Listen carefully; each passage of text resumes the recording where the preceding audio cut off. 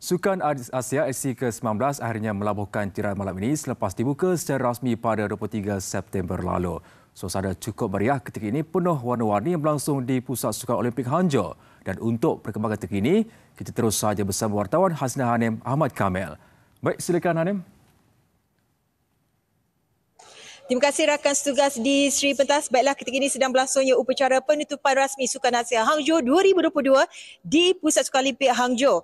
Apa yang boleh saya kongsikan memang cukup meriah dengan menyaksikan ribuan penonton hadir untuk sama-sama menyaksikan temasya edisi ke-19 ini melabuhkan tirai sebentar nanti. Pastinya juga ia telah membuat pelbagai memori suka dan duka buat atlet-atlet yang bertanding pada edisi ke-19 ini. Kontingen Malaysia pula akan disertai seramai 40 orang melibatkan sekretariat serta atlet-atlet dari sukan karate, sukan kabadi dan juga jiu-jitsu. Pembawa jalur gemilang bagi kontingen Malaysia pula adalah atlet karate negara iaitu Muhammad Arif Afifuddin Abdul Malik yang juga pemenang pinggan emas ke-6 kontingen Malaysia dengan sekaligus menyaksikan Malaysia menutup tirai di Hangzhou ini dengan mengumpul 6 emas 8 perak dan juga 18 gangsa untuk berada di tempat ke-14 keseluruhan daripada 45 kontingen yang bertanding. Mekala China pula pastinya meraih ingat seram banyak 200 keseluruhan dan pastinya untuk memastikan kelancaran bagi edisi ke-19 ini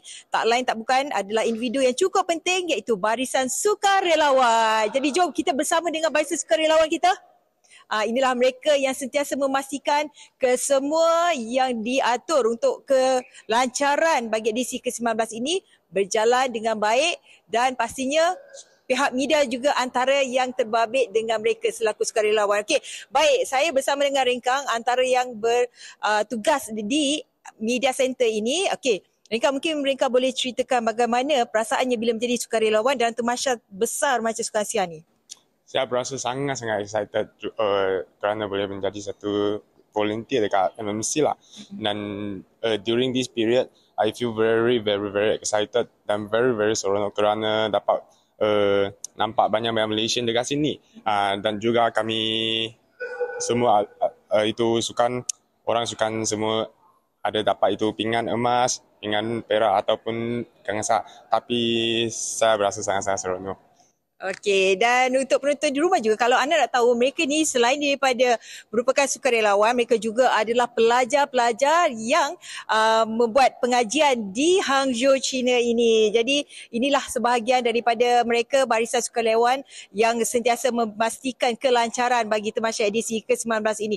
Dan untuk itu saya juga rasanya ingin uh, mengucapkan ribuan terima kasih kepada anda semua kerana terus bersama kami di TV3 dan selepas ini edisi ke-20 pula akan berlangsung di bumi Jepun iaitu Aichi Nagoya. Jadi saya rasa sekian daripada saya. Hasil dari Ahmad Kamil, Syekh Hangzhou.